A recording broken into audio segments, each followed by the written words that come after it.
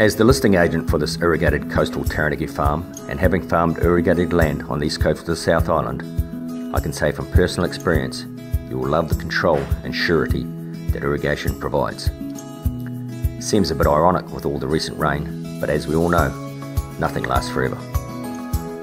The location being just a few minutes from Hawera will make for a great lifestyle, as with a beautiful main home. Then there's a predominantly flat farm an excellent 40 bale rotary cow shed being centrally located. If the 240 cows could talk, I'm sure they'd say, we love the short walk. Top all this off with a very good second home, large workshop, wide races, and a six bay calf shed handed to the cow shed, and you have the complete package. The grass is greener on the other side of the fence, especially in January, February, and March in this case. So come along to one of the open days and be impressed. John Blundell, Bayleys Real Estate.